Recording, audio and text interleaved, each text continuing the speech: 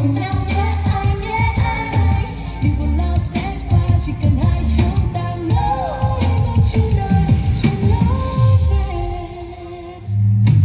tình yêu như mật ngọt trên cao làm lòng ta luôn khát khao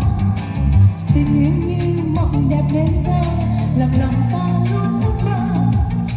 trái tim em nguyện thề yêu anh gửi chọn tình yêu đến anh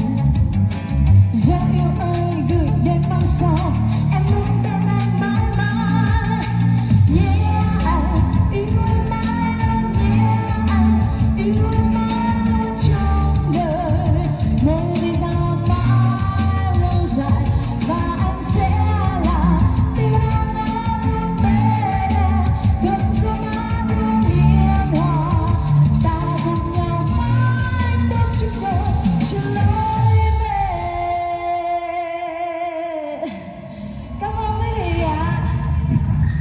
và nối tiếp quý vị hát chung với Ngân Nguyễn được không ạ?